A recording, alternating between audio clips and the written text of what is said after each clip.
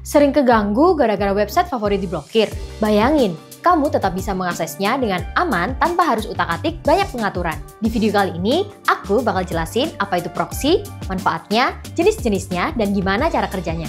Tapi kalau kamu lebih prefer membaca, Jargon Hosting juga sudah menulis panduan lengkap apa itu proxy, manfaat, jenis, dan cara kerjanya lewat artikel di deskripsi atau lewat link berikut. Proxy adalah sistem yang membuat kamu bisa mengakses internet menggunakan IP berbeda dari apa yang diterima oleh perangkat. Proxy menyembunyikan identitas asli pengguna biar tidak diketahui oleh orang lain atau website yang mereka kunjungi. Jadi tentunya lebih aman. Biasanya, alamat IP tersebut bisa mengalami pengubahan ketika kamu mengaksesnya karena peran dari proxy sendiri adalah sebagai media penghubung dari satu jaringan ke jaringan yang lainnya keberadaan proxy tidak akan dapat bekerja dengan baik tanpa adanya proxy server. Lalu, apa itu proxy server? Singkatnya, proxy server adalah media penyedia proxy yang menyalurkan permintaan atau request ketika kamu ingin mengakses sesuatu dan menjamin jika data yang kamu miliki tetap aman dan tidak bocor. Jadi, proxy dan server proxy mempunyai keterkaitan satu sama lain dalam sistem komputer di internet. Kehadiran proxy memberikan banyak manfaat untuk kamu saat mengakses internet. Mungkin masih banyak yang menyadari bahwa kemudahan saat berselancar di dunia maya adalah berkat bantuan dari sebuah proxy. Berikut ini adalah manfaat dari penggunaan proxy. Menjaga privasi data tidak semua orang ingin data pribadi mereka diketahui ketika mengakses internet. Maka dari itu, fungsi proxy adalah untuk menjaga privasi data pengguna internet, sehingga proxy akan secara otomatis akan melakukan pengubahan alamat IP dan tidak akan dideteksi oleh situs yang kamu kunjungi memudahkan saat mengakses situs tertentu. Ada beberapa situs di internet yang tidak dapat diakses melalui jaringan biasa, misalnya saja seperti situs yang memuat konten sensitif. Adanya proxy akan mempermudah kamu saat mengakses situs tertentu dengan mudah, terlebih lagi jika situs tersebut berada di luar jangkauan tempat kamu tinggal. Misalnya saja kamu saat ini berada di Indonesia dan ingin mengakses situs dari Jerman maka kamu tidak harus jauh-jauh ke negara Jerman hanya untuk mengakses situs tersebut. Melakukan pengontrolan akses internet. Contohnya saja seperti komputer di sekolah membatasi fitur akses internet supaya para siswa lebih fokus pada pembelajaran komputer dibandingkan mengakses internet untuk media sosial. Jika diterapkan pada keluarga, penggunaan proxy adalah sebagai media pengontrolan ketika anak-anak mencari konten tertentu, maka secara otomatis sistem akan melakukan penolakan dan tidak menampilkan konten yang dicari. Mempercepat akses internet. Hal ini dikarenakan proxy mampu menyimpan case, yakni media penyimpanan sementara ketika kamu pernah mengunjungi sebuah situs. Sehingga ketika kamu ingin mengunjungi situs yang serupa untuk kedua kalinya, maka sistem akan secara cepat mengarahkan kamu ke situs tersebut. Cara kerja sebuah proxy ternyata cukup mudah dan tidak serumit yang dibayangkan. Supaya kamu mendapatkan gambaran, anggaplah proxy ingin menemukan alamat lengkap rumah yang kamu tempati saat ini. Nah, alamat rumah tersebut dalam internet adalah IP address. Saat ingin mengunjungi sebuah situs, maka biasanya kamu menuju search engine dan mengetikkan IP address untuk mendapatkan konten yang dibutuhkan.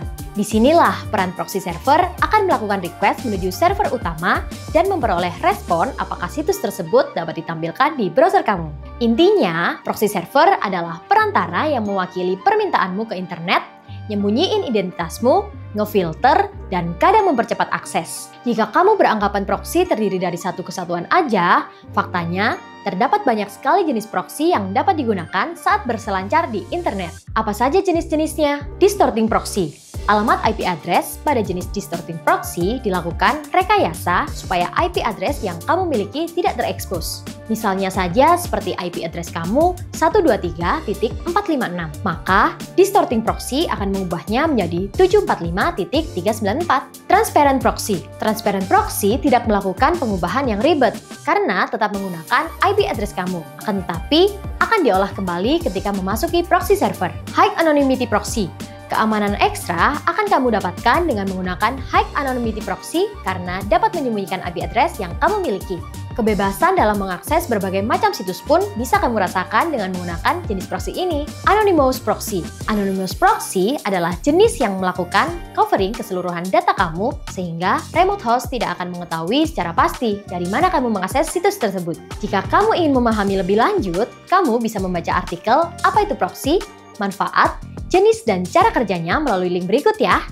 Seperti yang telah dibahas sebelumnya, bahwa fungsi dari proxy adalah untuk melindungi data pengguna internet supaya tetap aman. Namun, ada tiga fungsi utama dari sebuah proxy yang menjadikannya begitu penting untuk digunakan.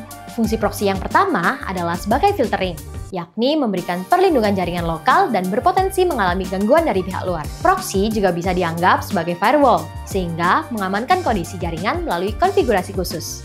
Selain menjadi filtering, proxy juga berfungsi sebagai connection sharing dengan mengandalkan gateway, sehingga tidak membatasi jarak antar wilayah untuk mengakses sebuah situs. Terakhir, fungsi proxy sebagai caching, yakni menyimpan histori dari situs-situs yang telah kamu kunjungi sebelumnya, sehingga mempermudah sistem dalam melakukan recall dan mempercepat akses situs yang kamu request. Meskipun proxy memberikan banyak keuntungan dalam segi menjaga kerahasiaan data pribadi, namun yang namanya sebuah teknologi tentunya mempunyai kekurangan dan kamu patut untuk mewaspadainya. Berikut ini hal-hal yang wajib kamu waspadai terkait penggunaan proxy. Keamanan penggunaan proxy. Layanan proxy ada yang bersifat gratis dan berbayar. Biasanya, proxy berbasis free kurang terjamin keamanannya. Oleh sebab itu, kamu harus teliti dalam memilih proxy dan memastikan jika keamanannya sudah terjamin. Tidak semua proxy terinskripsi.